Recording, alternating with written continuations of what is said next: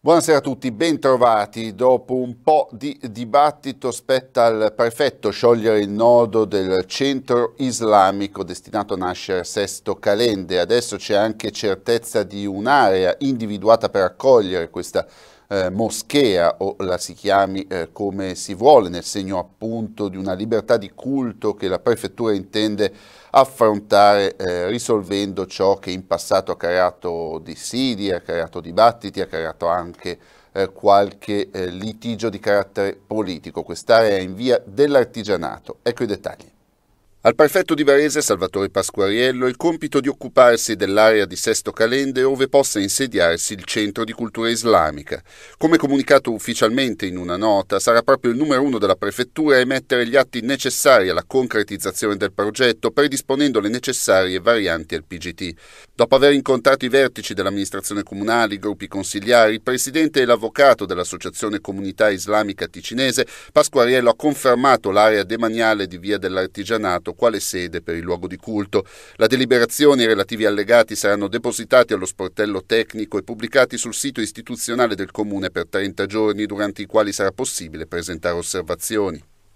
E a proposito di Sesto Calende, alle prossime elezioni comunali in programma a eh, giugno, il centrodestra si presenterà compatto e quanto diffuso oggi in una nota eh, congiunta. Non solo una corsa quindi eh, all'insegna della eh, unità, ma anche all'insegna delle forze politiche che esplicitamente si presenteranno coi simboli di partito, a differenza di forze civiche che si legge nella nota eh, dicono di riferirsi al centrodestra, ma lo fanno però con simboli alternativi a quelli dei partiti, cosa che peraltro nei comuni spesso capita.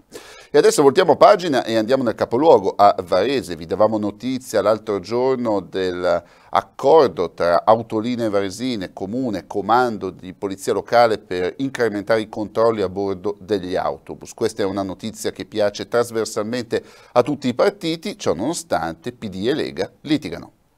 Botta e risposta Lega PD sui controlli a bordo dei bus, a dar fuoco alle polveri Marco Bordonaro, il quale plaude a una presenza più massiccia e capillare di polizia locale, ma sottolinea due esigenze. Da un lato che l'amministrazione riconosca un problema di sicurezza a parole negato, ma, viste le novità, riconosciuto nei fatti. Dall'altro invoca l'assunzione di più agenti, mossa che potrebbe trovare adeguati finanziamenti dai ristorni, qualche milione di euro che grazie all'abbassamento della soglia minima di frontalieri residenti il capoluogo può finalmente finalmente incassare. A stretto giro la replica del PD affidata all'omologa Dem di Bordonaro Manuela Lozza. Primo, abbiamo compiuto un passo che le giunte di centrodestra non hanno mai fatto. Secondo, la presenza dei nostri vigili è comunque un'eccezione. Chiedete ai vostri esponenti di governo di assumere più poliziotti e carabinieri così che sia lo Stato e non il Comune a vegliare sui bus. E restiamo in tema perché ieri sera è scattata eh, l'ordinanza che vieta il consumo di alcolici nella zona della stazione di Gallarate. Puntuale come un orologio è arrivata anche la prima cascata di contravvenzioni per 2.000 euro in meno di un'ora e c'è da scommetterci che non saranno eh, le uniche. Ecco i dettagli da Valentina Bigai. Polizia locale, sindaco e assessore alla sicurezza schierati in stazione a Gallarate per la prima serata senza alcol. Multe salate, 1000 euro a testa e due trasgressori che hanno ignorato l'avviso degli agenti poco prima delle 18, ora in cui scattava il divieto, e hanno continuato a bere whisky e birra sulla panchina di piazza Giovanni XXIII. Sì, ho visto che la polizia locale stava sanzionando le persone che erano state, diciamo, avvisate in precedenza prima del, dell'orario, ma poi è arrivata la polizia locale, li ha colti eh, lì che bevevano alcolici e quindi sono stati sanzionati. L'attività di quest'oggi a Polizia Locale è volta anche a informare le persone che non necessariamente conoscono l'ordinanza, le attività sono state già informate eh, ieri, l'altro ieri da, dai nostri agenti e quindi è giusto informare anche le persone disincentivando la frequentazione di questi spazi eh, con alcolici o comunque in modo molesto. Giro di perlustrazione poi sotto i portici fino a percorrere il corridoio che porta dietro alla stazione. Un folto gruppo di ragazzi, circa una trentina, sono stati controllati. Qualcuno si è dileguato in fretta tra chi beveva alcol e chi sembra stesse fumando sostanze stupefacenti. In molti però chiacchieravano semplicemente ascoltavano musica. Questo provvedimento è stato fatto da sottoscritto per 30 giorni, che è il termine massimo che consente la legge per questi provvedimenti straordinari, per tentare di limitare questo fenomeno di schiamazzi, disturbo della quiete pubblica che c'era in quest'area della stazione. Quindi eh, da oggi fino al primo marzo è in vigore questa ordinanza che dalle 18 alle 6 del mattino vieta la vendita e il consumo di alcolici in questa zona. Un'iniziativa, quella dell'ordinanza, che non piace all'opposizione. Abbiamo ascoltato la voce critica del Partito Democratico. Non posso bere la birra se sono in strada, ma posso berla al tavolino, posso berla dal lato, dal lato est di via 25 aprile, ma non posso berla al lato ovest o viceversa. Insomma, è veramente una bandierina messa per dire ci siamo accorti che il problema è rimasto tutto intero. Commenta così il capogruppo del PD Galaratese Giovanni Pignataro l'entrata in vigore dell'ordinanza sindacale che vieta per un mese dal 1 febbraio il consumo e la vendita di bevande alcoliche nell'area della stazione. Questa ordinanza è la dimostrazione del fallimento del del progetto Stazione sbandierato come la soluzione di tutti i mali nel 2021 con rifacimento della piazza per 700 mila euro che avrebbe dovuto risolvere tutti i problemi. Chi frequenta la stazione pendolare o chi passa da questa piazza sa che invece i problemi si sono riproposti tutti uguali. Oggi ci sono tantissimi agenti di polizia locale eh, perché c'è l'ordinanza che entra in vigore questa sera. Nelle serate precedenti c'era tutto quel portico occupato e il problema va avanti fino a via Cavour. Allora anziché fare propaganda sarebbe opportuno sedersi a un tavolo, cercare soluzioni condivise e cercare soluzioni che, ehm, che passano attraverso il contributo di tutti. È questo che chiediamo all'amministrazione, non ordinanze spot. Poi però abbiamo anche ascoltato alcuni passanti e la cosiddetta gente comune in prevalenza ci sembra d'accordo.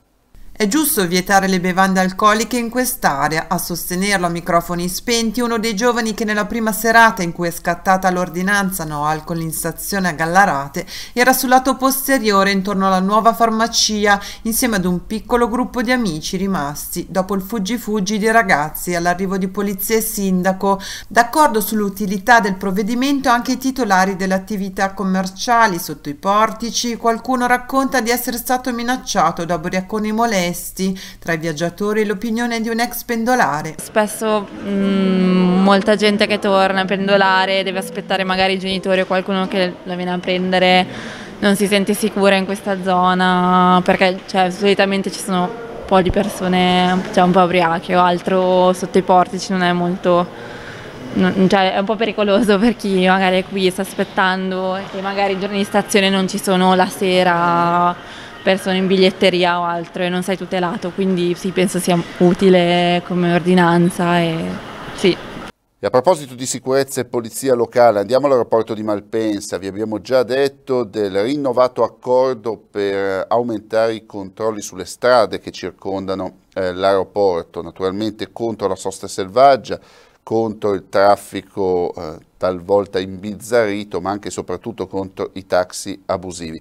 Questo rinnovato accordo prende spunto dai risultati dell'anno 2023, in cui le multe sono state davvero tante.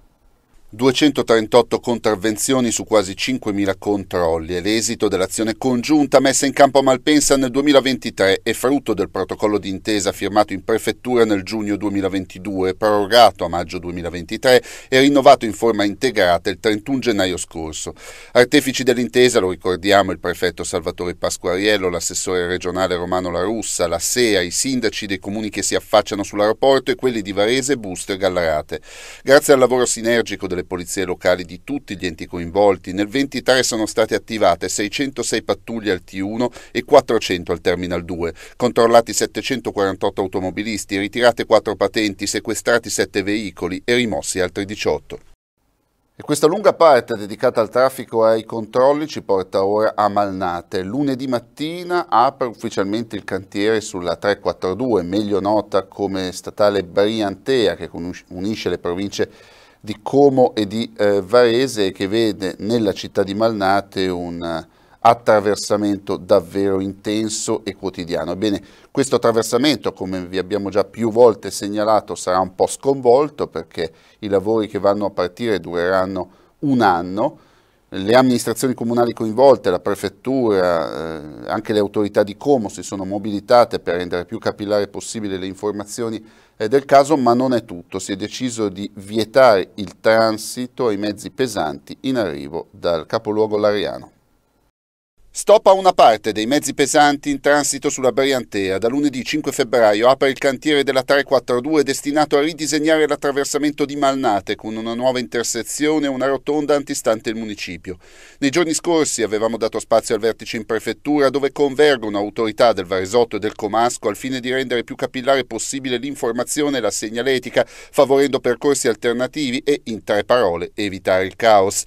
Tra i primi accorgimenti comunicati ufficialmente dalla sindaca Irene Belle Femmine c'è, come accennato, lo stop agli autocarri di almeno 3,5 tonnellate provenienti da Como, a eccezione dei veicoli diretti in zona industriale. Cambiamo argomento, parliamo di cultura ma anche di eh, spettacolo e di grandi nomi, in questo caso il grande nome di un violinista, Nordio, atteso a Bustersizio.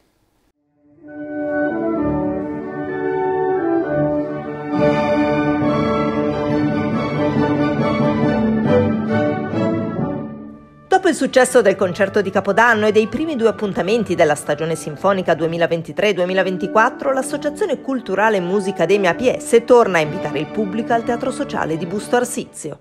Domenica 4 febbraio alle ore 18 a Teatro Sociale di Busto Arsizio sarà ospite uno dei più um, acclamati musicisti italiani, il violinista Domenico Nordio, che eseguirà il concerto di Mendelssohn per violino orchestra insieme all'orchestra Durini Cantiani di Busto Arsizio, l'orchestra Duca. A seguire eh, la sinfonia La sorpresa di Haydn, un concerto veramente da non perdere. Andiamo a Busto Arsizio, parliamo del Biafin Festival che si appresta a vivere una ventiduesima edizione moltiplicata per tre. Perché?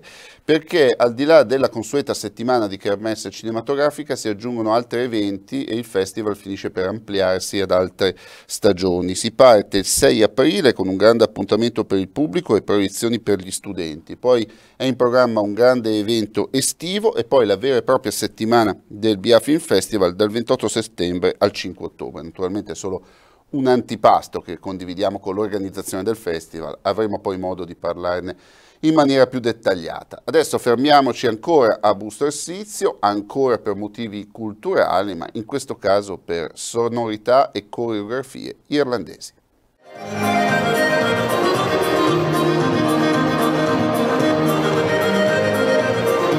Domenica si terrà la settima edizione del Busto Fesh, gara internazionale di danze irlandesi. A Busto Arsizio arriveranno ben oltre 150 ballerini da otto nazioni europee alla Pala Chierichetti in via Ariosto per sfidarsi nelle varie competizioni della danza irlandese. È una gara aperta al pubblico, quindi potete venire assolutamente a vedere com'è il mondo delle gare irlandesi.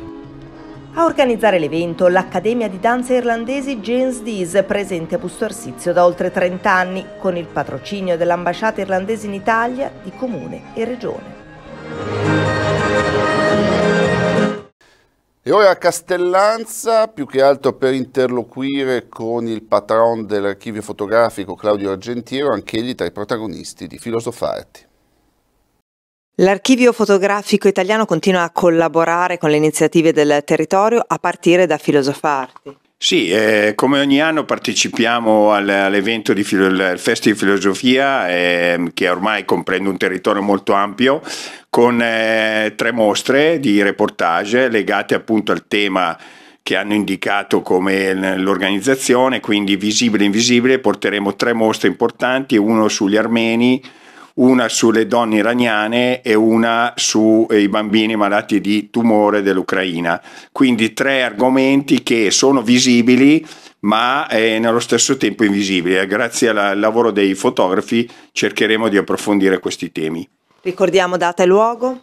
Allora, la Villa Pomini Castellanza dall'11 febbraio, il giorno di inaugurazione alle ore 17, con la presenza degli autori che sono Roberto Travan, eh, Reza Katir, Giovanni Mereghetti e, Ugo Panella e poi le mostre saranno visitabili fino al 3 di marzo. Intensa la pagina sportiva che apriamo con l'Eco Run. Si corre il 20 e 21 aprile per le strade di eh, Varese. Sarà un'altra manifestazione non solo competitiva ma anche e soprattutto solidale. Vale la pena iscriversi, partecipare numerosi. Ecco i dettagli. Incasso destinato al centro Gulliver e a Chaos, realtà che si occupa di donne operate al seno, un'ampia rosa di competizioni per appassionati e cavalli di razza, spiriti amatoriali e animi competitivi. Il tutto in una Varese chiusa al traffico e aperta alla solidarietà con Lions Day, le visite gratuite, gli stand, i laboratori, le mostre a cielo aperto. Insomma, è quasi tempo di EcoRun, iniziativa nata come una sfida e già divenuta tradizione. Appuntamento il 20 e 21 aprile. Quinto anno dell'EcoRun che non è più un evento sporadico ma è entrato nel panorama degli eventi della città di Varese. Una manifestazione molto importante perché riesce a legare lo sport al mondo della solidarietà, all'ecologia.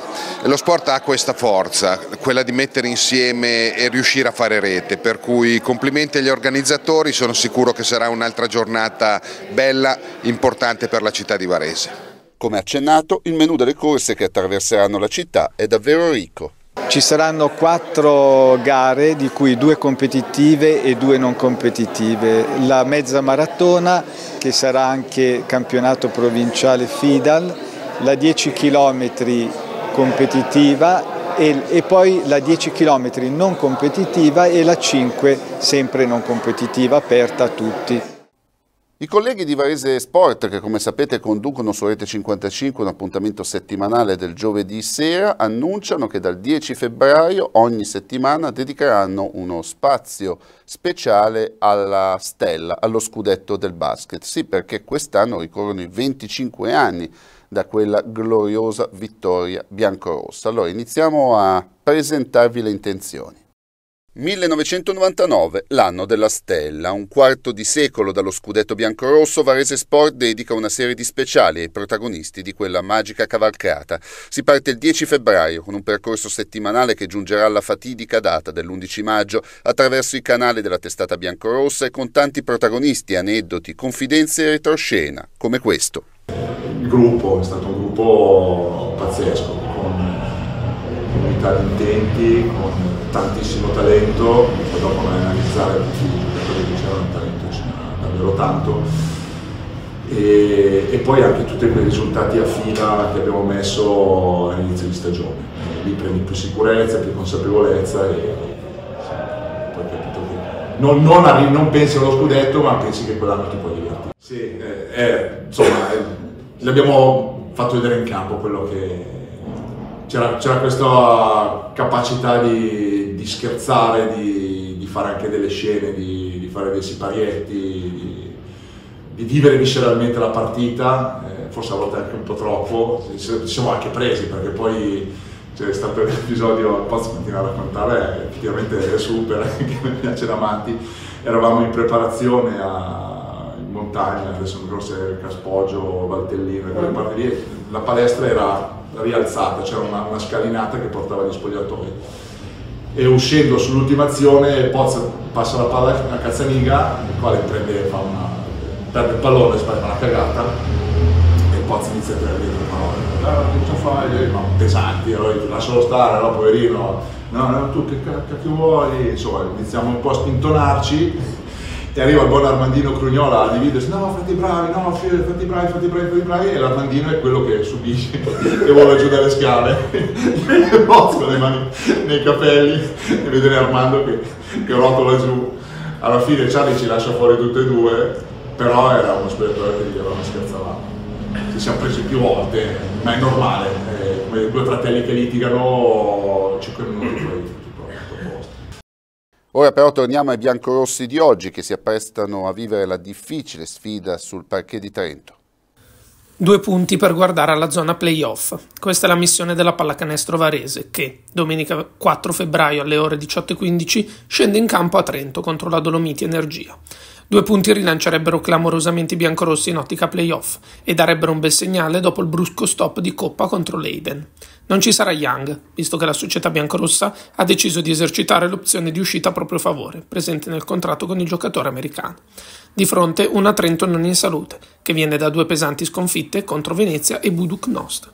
E infine una bella pagina di sport e di impegno sociale. Come sapete da più di vent'anni c'è un marchio tutto varesino, si chiama Freerider Sport Events. Rete 55 ne parla da parecchio tempo, da quando è sbocciato. Adesso anche le testate nazionali hanno incominciato a interessarsi alla causa. Ci fa molto piacere e allora andiamo a visitare la tappa del Tonale, peraltro con un angelo custode che non può mancare, cioè la Polizia di Stato. Va come sempre a gonfie vele la stagione della Freerider che organizza esperienze sciistiche per le persone affette da disabilità.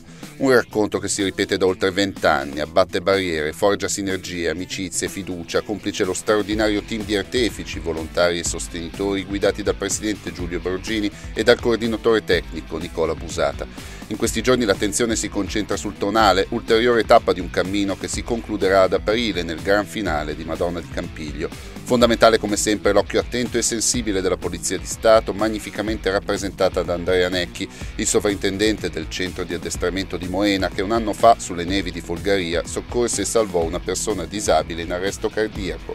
La Polizia di Stato ha 15 anni che segue questo meraviglioso ski tour dando eh, garanzia di sicurezza e assistenza tecnica a questa associazione varesina che riesce a portare in sicurezza e godere di queste meravigliose piste di sci questi ragazzi con disabilità. Siamo alla programmazione serale di Rete 55, alle 21 il cinema col film Acta Marusia, alle 23.30 una famiglia quasi perfetta. Io mi fermo qui, vi auguro buona serata, arrivederci.